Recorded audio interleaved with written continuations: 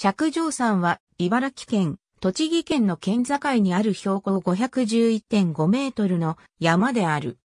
釈上山は茨城県常陸大宮市、茨城県久慈郡第五町、栃木県那須郡中川町の境に位置しており、闇溝山地の鳥の小境に属している。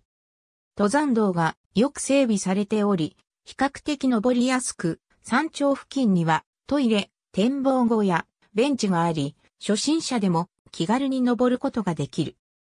山頂付近までは林道が整備されていて、自動車で頂上付近まで上がることもでき、小さな子供を連れてのハイキングも可能である。山頂には、釈上山、駒形神社がある。空気の澄んだ冬季には遠方に富士山を見ることも可能である。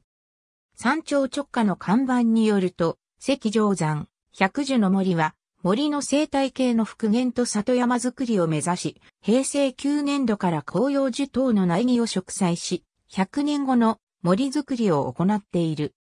しかし、平成13年4月と平成16年4月の2回、山頂付近の4ヘクタールもの面積が山林火災にあっている。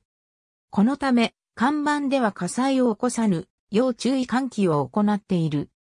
国道293号線を、日立大宮市三輪方面へ向かい、花立トンネル先の交差点を県道29号線へ進む。